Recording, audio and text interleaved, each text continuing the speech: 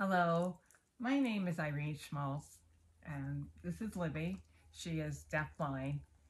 I work for the Center for Family Involvement, and both Libby and I are deaf, and I also have a vision loss.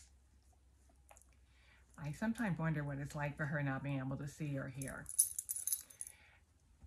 I am lucky that I've had a lot of different experiences. I grew up wearing one hearing aid, then fitted with a second hearing aid, then when the hearing aids weren't working, I then had a cochlear implant on the right side in January 2020. And just last two weeks, I was implanted with a second one on the left side.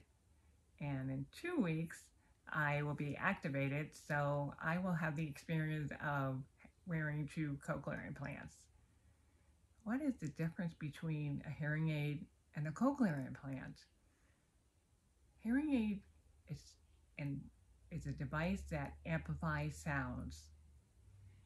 And the sounds are natural. So the cochlear implant, on the other hand, is a mechanical device. And so the sounds sometimes can be robotic in the beginning, and then they convert that sound into words and clearing, clearer understanding of everything.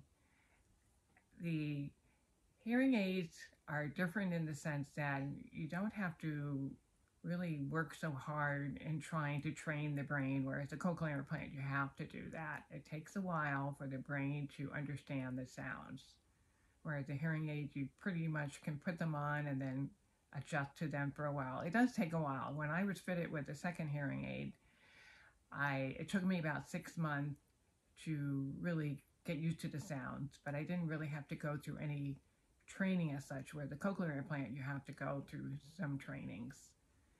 And but the difference also is the cochlear implant just allows you to hear so much more. Uh, I'm hearing things that I haven't heard before, such as I'm hearing people talk in the other room. I could never do that with a hearing aid. The thing with the hearing aid, I relied heavily on lip reading. And that has not changed when I got the cochlear implant. I still rely on lip reading.